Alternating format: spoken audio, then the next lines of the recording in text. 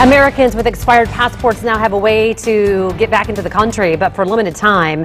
The Biden administration adjusted travel policy, saying delays in processing those passports have been another negative side effect of the pandemic. It's been much more difficult to quickly renew a passport, um, whether because of rules on the ground at consulates and embassies abroad, uh, simply the ability of the U.S. government to process things uh, during COVID when they haven't had as many people in office.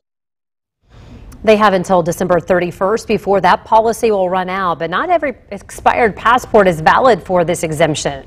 According to the State Department, eligible passports must have expired on or after January 1st, 2021, Daniel. And Americans will also be allowed to return home to the U.S. without making any other stops. They also cannot leave the United States again until they get their passport renewed. You're that literally makes sense.